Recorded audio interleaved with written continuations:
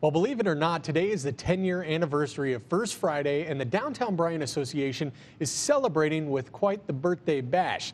KAGS HD News reporter Alexandra Bush is live in downtown Bryan at the birthday party, and Alexandra looks like a busy night of fun. Luke, we've got hundreds of cupcakes, birthday games, decorations, and everyone I spoke with here says they're having a wonderful time. But one thing most people don't know is that none of this would have happened if it wasn't for one woman and her love for downtown Bryan. Greta Watkins grew up coming to downtown Bryan. We came downtown to go to the movie, and we came downtown to go to the library and to go shopping. As a kid, this was the shopping hub. In high school, it was even the most congested place to come for driver's ed.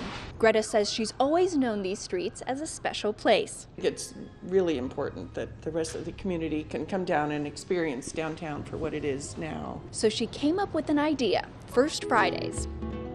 I heard about First Fridays in other parts of the country, and they usually are like a gallery walk um, in a museum district or a gallery district. Here in Bryan, it's a community wide event that's seen some major success throughout the last 10 years. It started in one shop with the Frame Gallery and Greta Watkins, and it has now expanded to the entire length of downtown Bryan. And it is a huge event. People come in from out of town to visit First Friday. We actually have other downtowns calling us to see how we run our First Friday. Local shops, organizations, and plenty of artists line the streets, a sight Greta Watkins says she never even envisioned. It feels like I have given birth to a wonderful thing.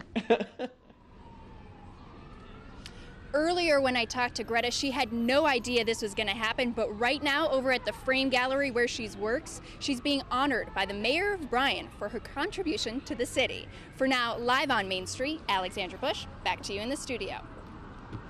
Thank you so much, Alexandra. Hopefully, we get a few cupcakes when she uh, makes the trip back here.